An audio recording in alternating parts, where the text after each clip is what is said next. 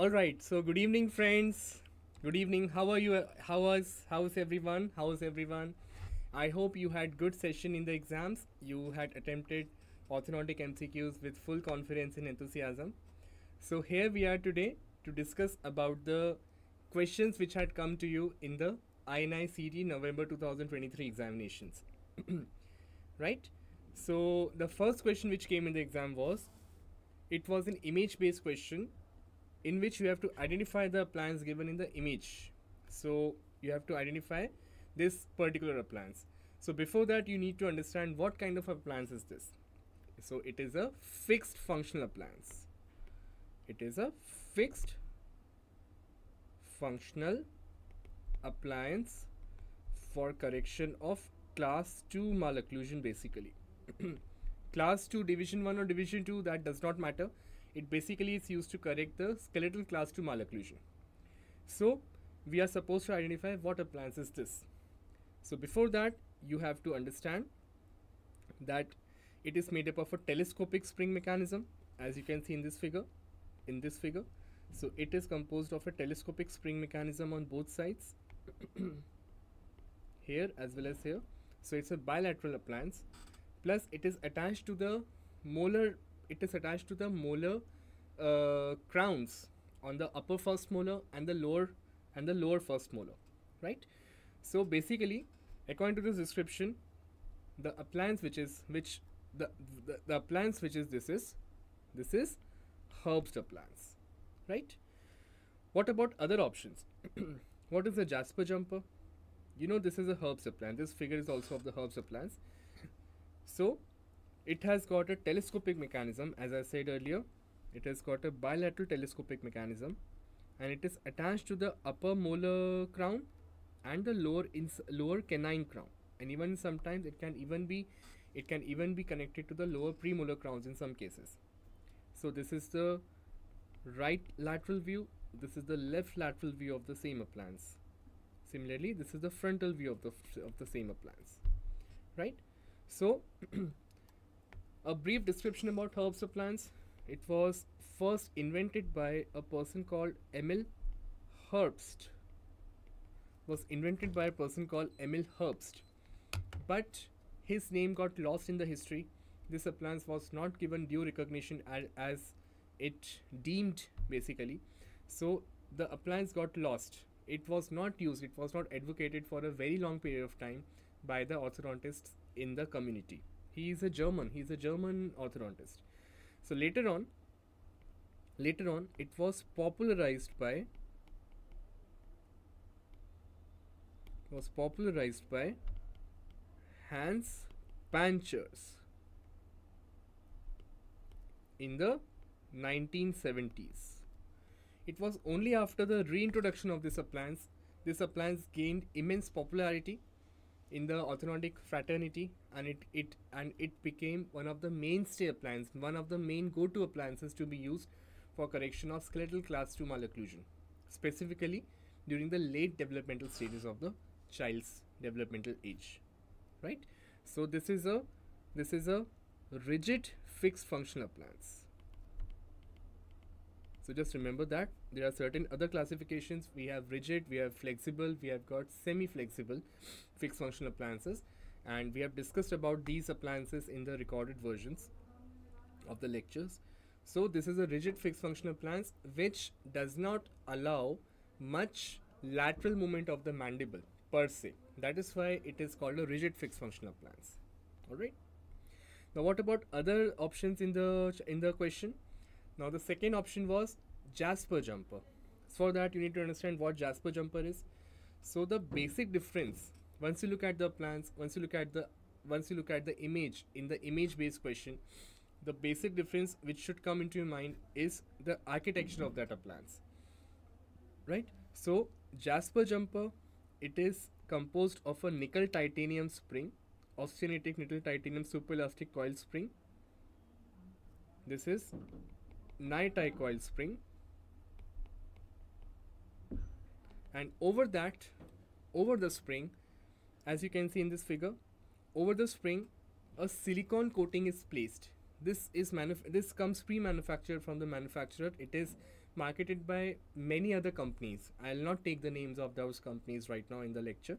So just remember this comes in a prefabricated uh, condition with specific with specific distances. Now how that distance is measured now you have to you have to select which which length of the Jasper jumper has to be used for correction of which appliance which malocclusion in your case. For that you need to take a ruler you have to take a ruler as you can see in this figure and you have to measure the distance between the mesial aspect of the upper first molar that means the molar tube of the upper first molar and the distal aspect of the bracket of the lower canine. So this is the distance that needs to be considered for while selecting the length of the appliance. This is the distance which needs to be considered. And you have to add a little bit of uh, uh, you can say you can you have to add say 5 millimeters or 10 millimeters depending on the overjet.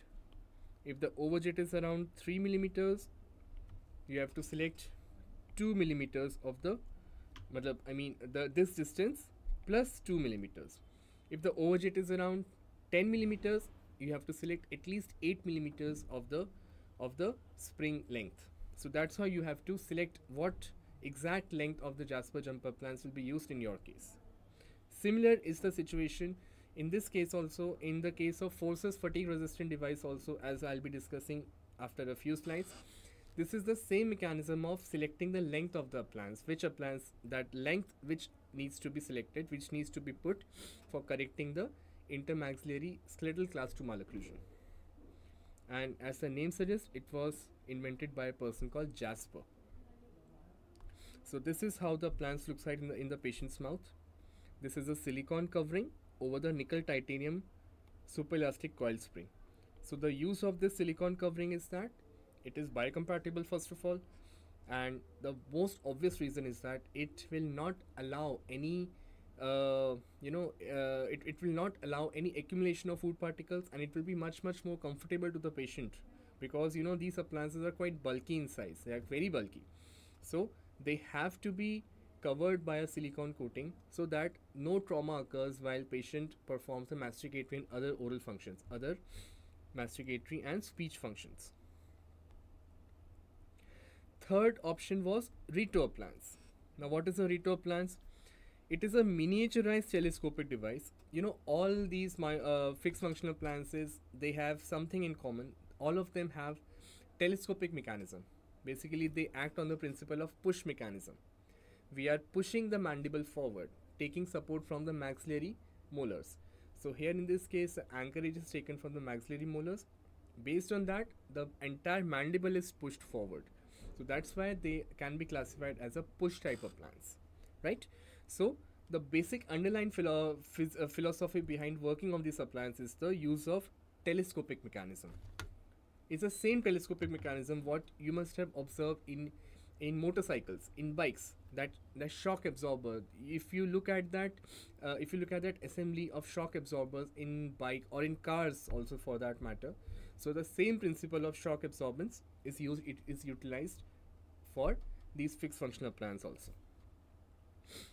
So this is how the Ritto plans looks like in the patient's mouth. It is attached.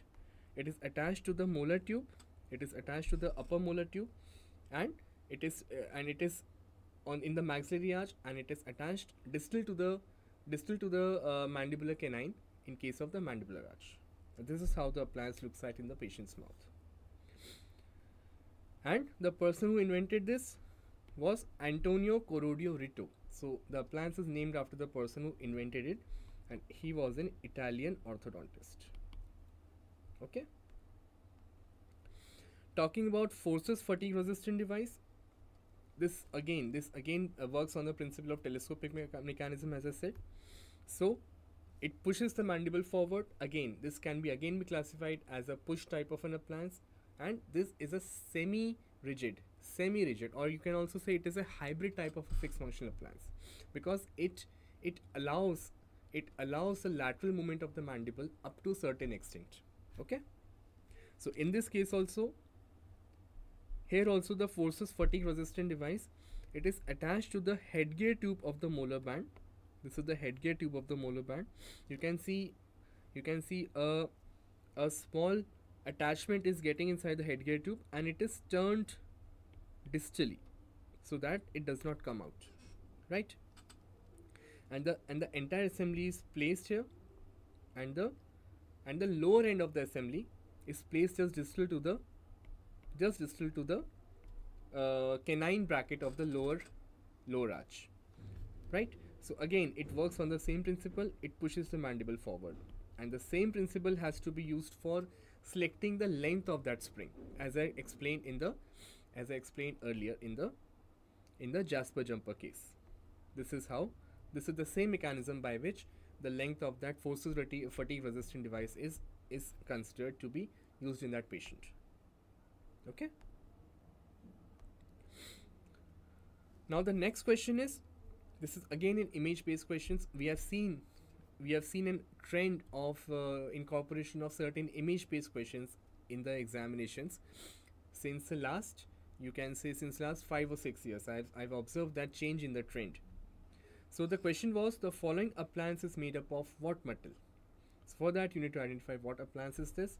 So this appliance is a NiTi expander. So as the name suggests, it is incorporated within the name of the appliance NiTi. So the most obvious answer will be it is made up of nickel titanium. Okay. Now a brief description about this appliance this appliance is called as NiTi expander and it is it is most specifically used in cleft lip and palate patients. This is a very effective appliance in causing expansion, the skeletal expansion of the maxilla, specifically uh, indicated in cleft lip and palate patients. So it was developed by a person called Wendell V. Arndt in the year 1993 and it is made up of nickel titanium plus some amount of copper also in that right? So the force which can be utilized to cause expansion of the maxilla is around 180 to 300 grams. And it comes in different sizes.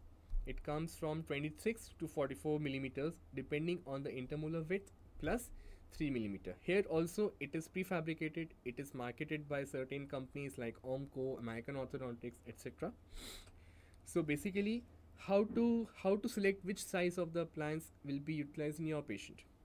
In this case you have to you have to look for the intermolar width. Now how intermolar width is calculated? It is calculated like this. It is calculated it is calculated through the uh, through the ling- uh, aspect of the first molar the the the groove the palatal groove of the first molar to the palatal groove of the contralateral first molar. So that distance is measured using a caliper or a scale or any other device and you have to add plus 3 millimeters in that. So this is the size of the appliance which you are going to select and which needs to be placed in the patient's mouth for causing proper expansion of the maxilla. So a brief anatomy of that appliance. So it is made up of 0.032 inch stainless steel wires these wire. They are they are specifically for causing expansion of the of the premolar and and in, and the canine segments. Then we have got stainless steel attachment for lingual tube here. And we have got 0.035 thermal activated titanium on both sides. So these are the copper NiTi wires. These are the copper NiTi wires and it has got a transition temperature of 94 degree Fahrenheit. Now, why, what does 94 degree Fahrenheit mean? You know the, bod- the normal body temperature, the normal human body temperature is approximately 37.1 degree Celsius, right? Everybody knows that. Now, on the conversion scale, if you if you convert this 90 uh, if uh, 37.1 into Fahrenheit, it comes out to be approximately 98 degree Fahrenheit right? So that also you are aware of. So this is the normal body temperature and your mouth is also not is is not is no exception.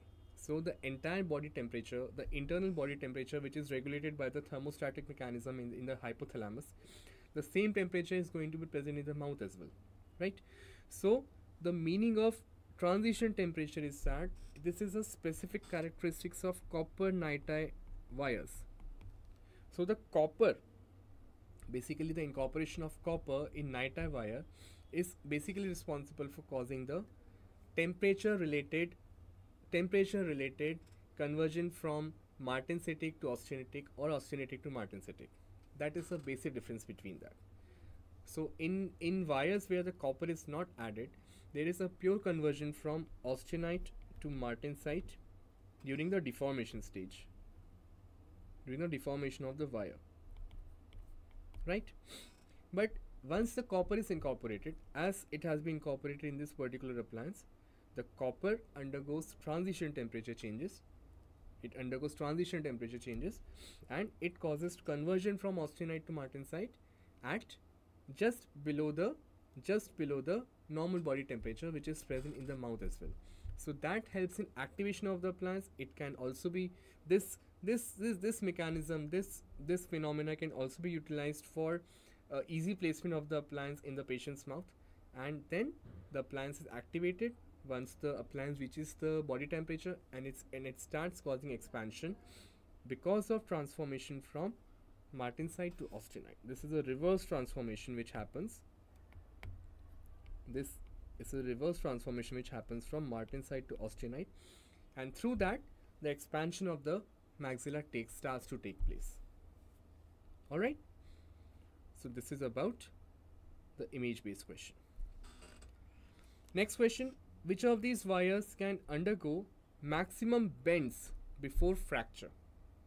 Now, the meaning of maximum bends that means the wire has to has to have good formability.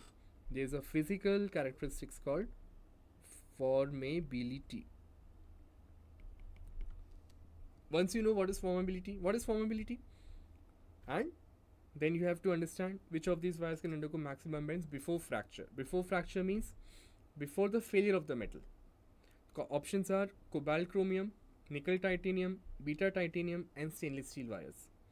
So out of these, out of these, the wires which can undergo the wire which has got maximum formability is beta titanium, and it is this property of the wire which is utilized in making loops in frictionless mechanics frictionless retraction mechanics.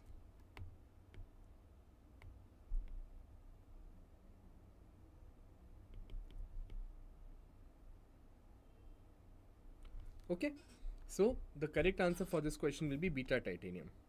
A brief description about the stress strain curve and the concept of formability, resilience, and everything. If you stretch a wire, if you stretch a wire beyond its normal uh, length, so the up to a certain limit, the wire undergoes wire undergoes proportional changes in the in the in the strain. That means the strain is directly proportional to the stress what you apply to the wire. So stress is uh, is plotted on the y-axis, strain is plotted on the x-axis, right? Up to a certain extent, there is an elastic deformation. That means if you if you remove the stress, the wire is going to come back to its original configuration. That is up to this point up to the point called proportional limit. Beyond that the plastic deformation starts. Beyond that plastic deformation starts. Up to a point which is known as yield strength.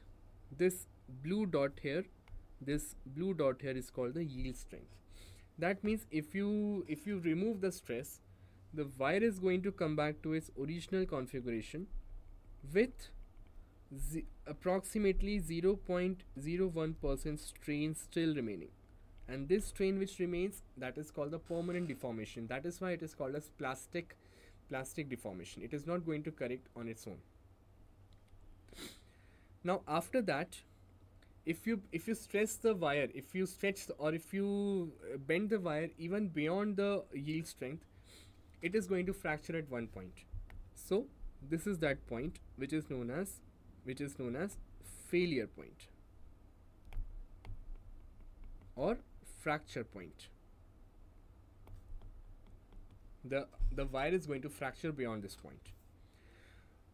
And the area of the graph, area of the graph between yield strength and the fracture point is known as formability. So by definition, formability is a capability of a material to undergo plastic deformation to a given shape without being damaged or without being fractured. Here, the metal is able to undergo a large amount of strain hardening. So that is a clinical application of, of materials having good formability. Right? So this is what I was talking about. So you are stressing a wire. This is the proportional limit, the yield point, the point of arbitrary clinical loading, and finally the failure point. Another uh, option is another uh, thing to understand here. There are two concepts called range and spring back, and stiffness. Right.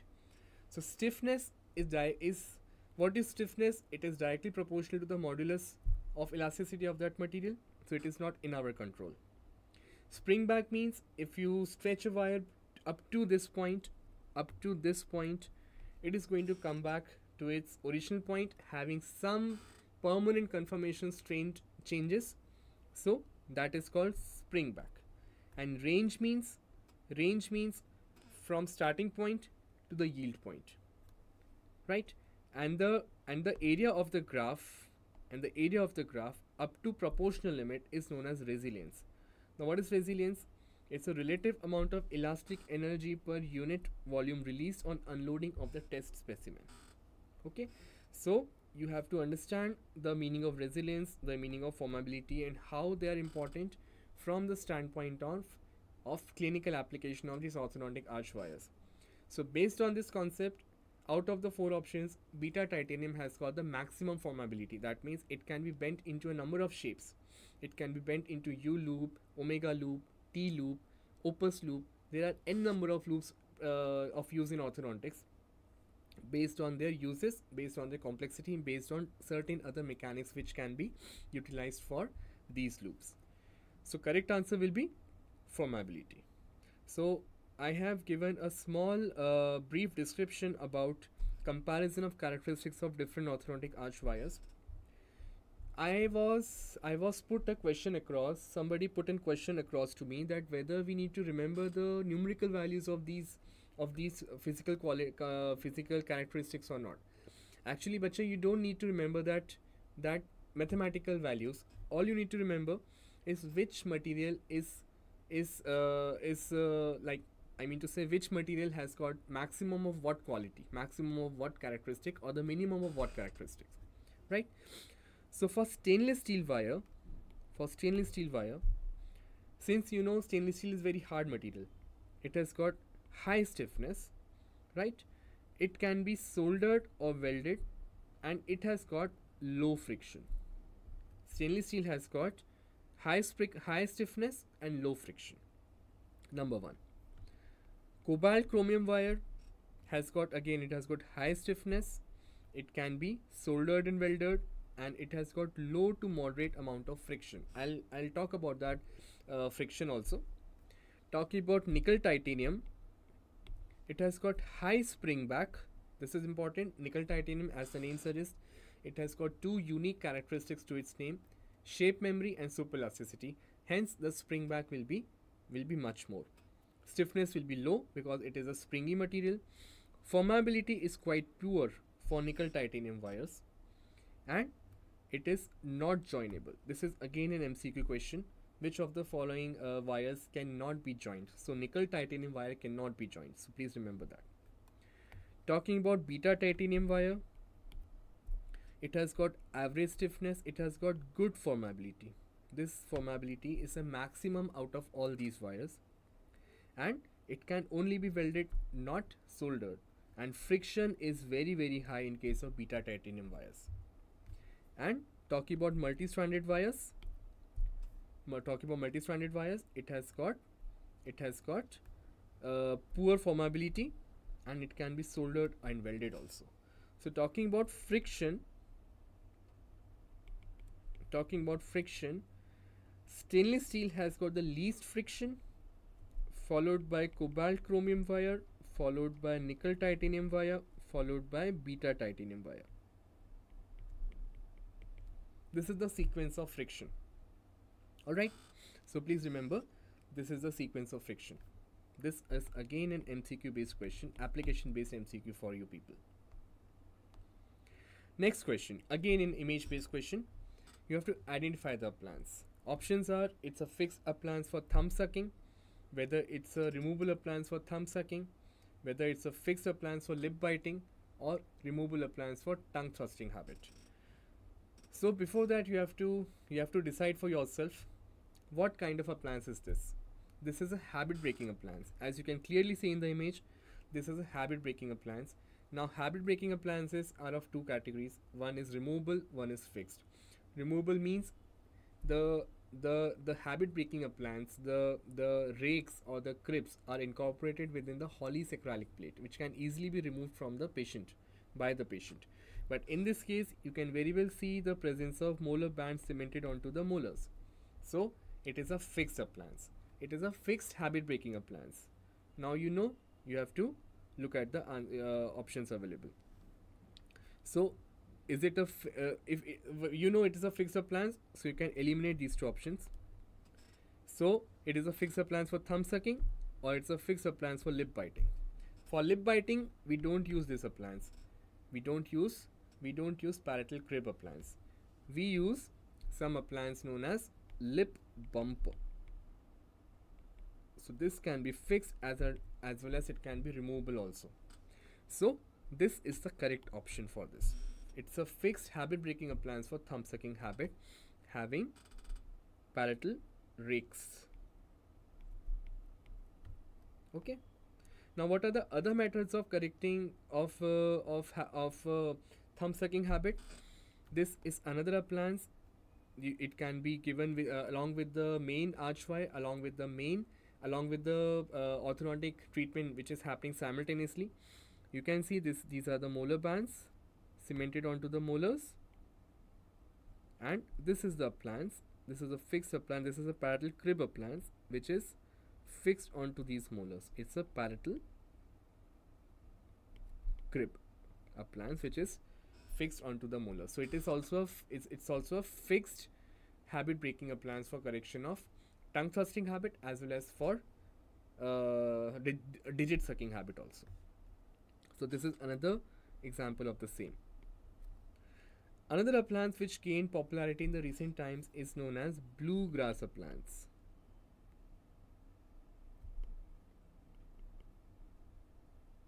It was given by Haskell and Mink. They were the two people who developed this appliance in the first place. So what is it? How is it different from the other appliances as we discussed earlier? So it is also a fixed appliance. The molar bands are cemented onto the molars it has got it has got a palatal bar like uh, uh, it has got a palatal bar with a acrylic roller with an acrylic roller that means the patient can move the tongue along it the the tongue can be used to roll the uh, roll the roller over the wire so this can be utilized this can be utilized as a as a reminder therapy right so this is going to help patient alleviate from the habit of tongue thrusting habit as well as from the digit sucking habit also. Next question, pretty simple one. The orange colored line in the graph below shows growth of which tissue? Now you know this is Scammon's growth curve.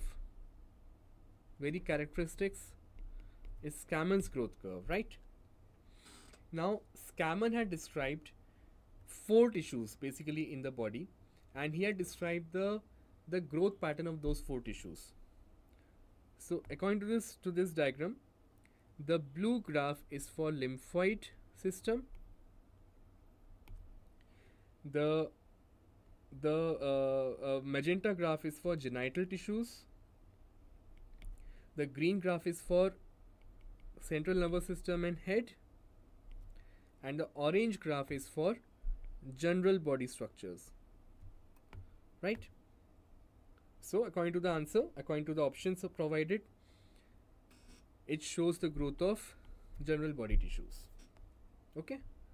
Now just for your reference i've incorporated a figure showing the same. So this is called this is the lymphoid system. How is it characteristic? The lymphoid system is responsible for maintaining the immunity in the child. As you know children are very naughty. They uh, pick up everything from the floor and they put directly inside the mouth. So the nature has given a compensation protective mechanism to those children so that the immunity has to be kept at a very high level so that the children do not do not fall ill very frequently. So what happens? The lymphoid system it grows up to 200% size of the adult size by the time the child is around 11 to 12 years of age. Yeah, or you can say between 10 to 12 years of age.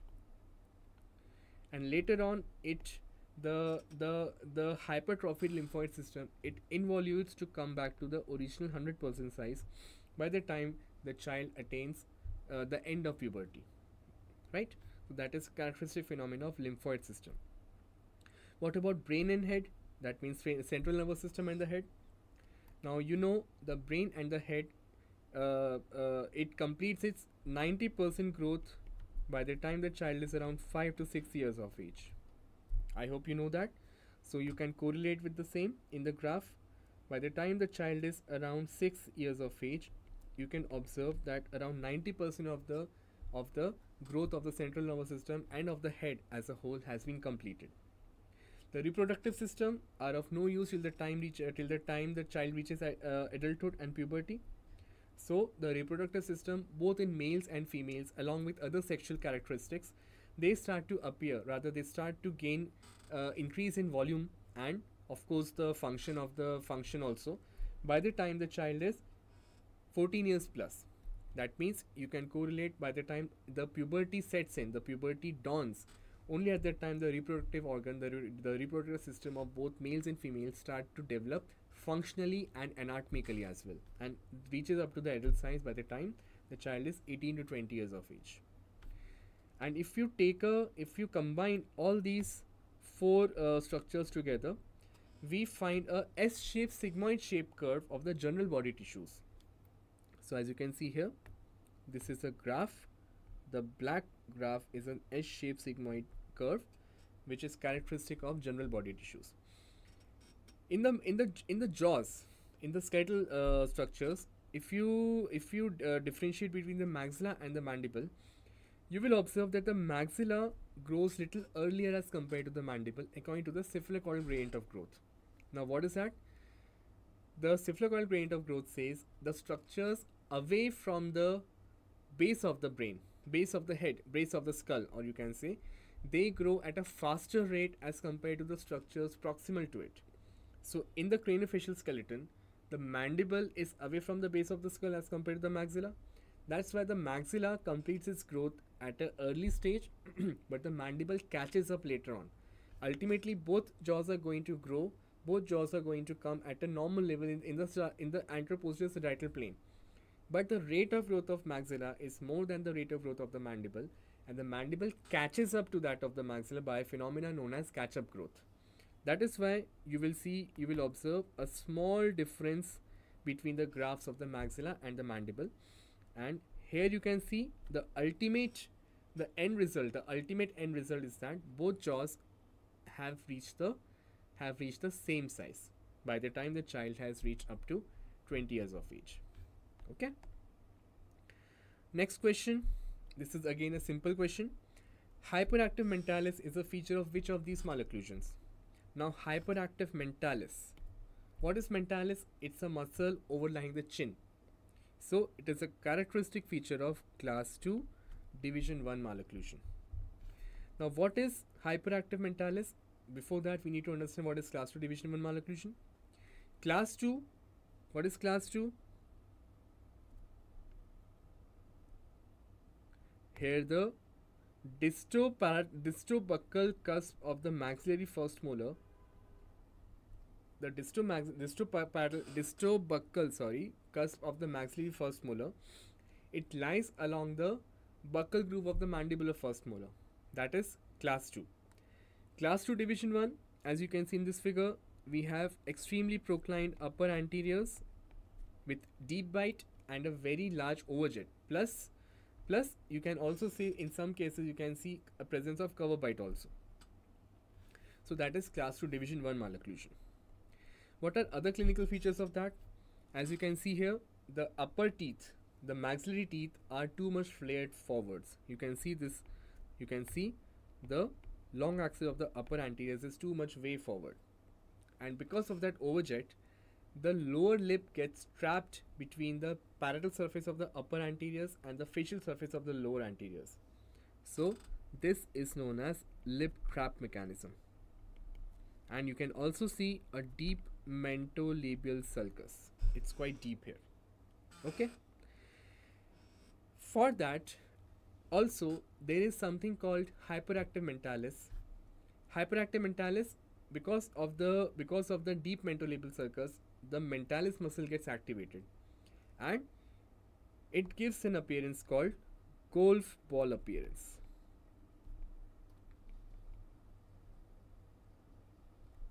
as you can see in this figure this is a golf ball. I have put a figure for your reference. And another clinical appearance of the same is known as is known as puckering of the chin.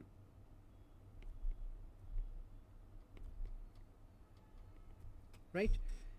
Just try to do it yourself. Just activate the mentalis muscle on your chin and then try to feel it. Or you can you can see yourself in the mirror also. You will observe the skin over the chin has has small small depressions here and there. So that is very much similar to the golf ball appearance that is why this this phenomena is known as puckering of the chin or golf ball appearance. Okay? So it is a characteristic feature of class 2 division 1 malocclusion next mcq again an image based question. You have to identify which appliance is this. So it's a removable functional appliance. It's a removable functional appliance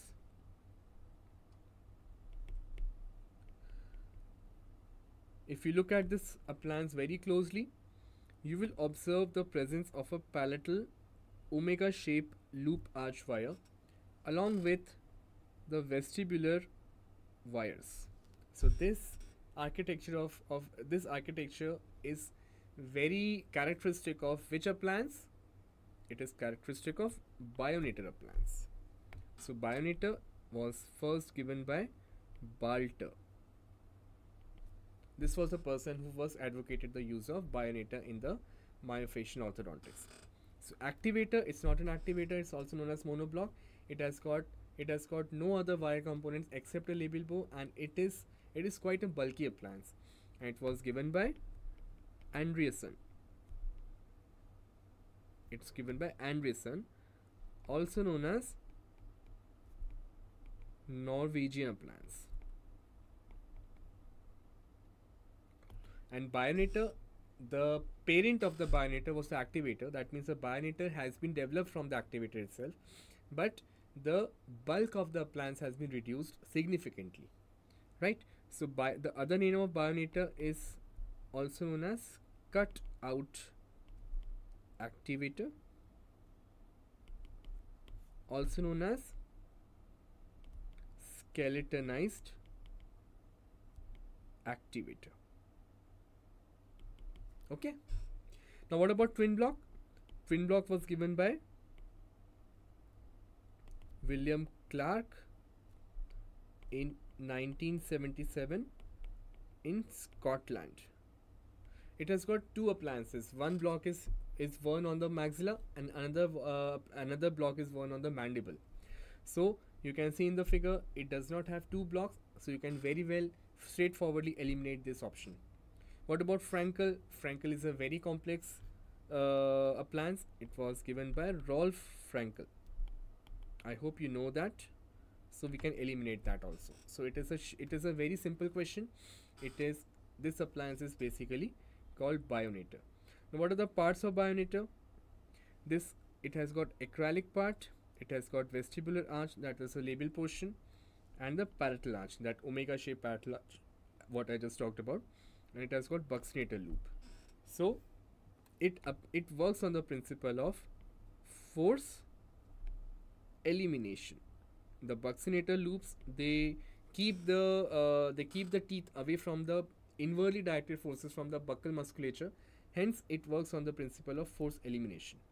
And once you have taken the bite in a in a forward forwardly protruded mandibular position that is the bite jumping so it works on the principle of force application. You're you're applying the force on the mandible to keep it in a forward position okay? What are different types of bionators one is standard appliance one is screening appliance one is reverse appliance okay? This is again the same figure showing the wire components. So it has got a palatal bar it has this is the palatal bar and it has got a vestibular vestibular part of the labial bow so the importance of this palatal bar a small description about the philosophy of the working of this appliance. So Balters was of the opinion that the palatal bar is quite important. Why? Because it maintains the position of the tongue. And it's a tongue only that plays a very significant role in the development of class 2 malocclusion. So if you correct the position of the tongue, the class 2 malocclusion is going to be corrected. So the appliance design was such a way that this appliance, this particular part of the appliance that is a palatal part, it can be used to keep the tongue in a forward position. So once the tongue is kept in a forward position, it is going to cause movement of the mandible forward in a subconscious way. So ultimately leading to condylar glenoid fossa changes here and ultimately remodeling leads to correction of class class 2 from uh, correction of class 2 malocclusion. Next MCQ, what type of nasolabial angle is present in this case? So again in image based question, let's zoom in. So this is the nasolabial angle here basically.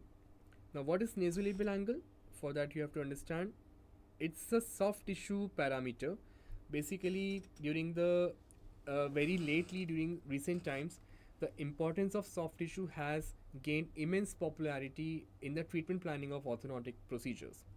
So previously there were certain advocates, certain uh, ad, uh, proponents of of non-extraction therapy as well as extraction therapy also, right? So the nasolabial angle basically it forms a mainstay of decision-making framework during the treatment planning procedure.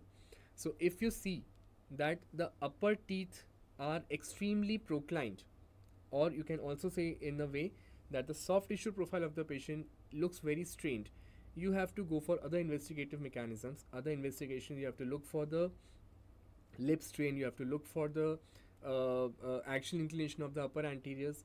Based on that you have to go, you have to form whether the extraction will be required in the patient or not. So for that there has been a paradigm shift. For that this nasolabial angle is plays a very important role. Right? So it is formed by drawing a line tangent to the base of the nose and a line tangent to the upper lip. So this is what nasolabial angle is. And you have to measure this particular angle here. If it is, the ideal value is 102 plus minus 8 degrees. This is a no is ideal value in normal case scenario. Any deviation from this value warrants attention and as I said any deviation from this value can be if if the value is if the value is more than 102 degrees that means uh, that means the nasolabial angle is very obtuse. If it is more than 102 degrees it means it is obtuse. That means the soft tissue profile is very much favorable for non-extraction therapy. And if it is less than 102 degrees it is acute which shows that the upper lips are quite strained and in most of the cases i'm not saying this is the only criteria. We have to go for other investigations also other parameters also. Then you have to decide whether extraction will be required or not. You have to also go for model analysis also.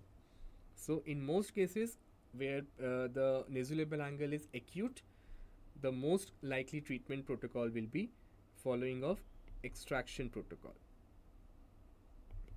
Okay? So this is what nasolabial angle is. So coming back to the figure, as you can see, it is quite less than 90 degree here as I can see in the figure. It seems to be less than 90 degree. So it is quite acute in size. Right. So that was about today's session. Hope you have gained something out of this session. If you have got any doubts, you are very much free to ask us anywhere on Facebook as well as on Telegram. You know where to find me, and I'll be very happy to help you guys.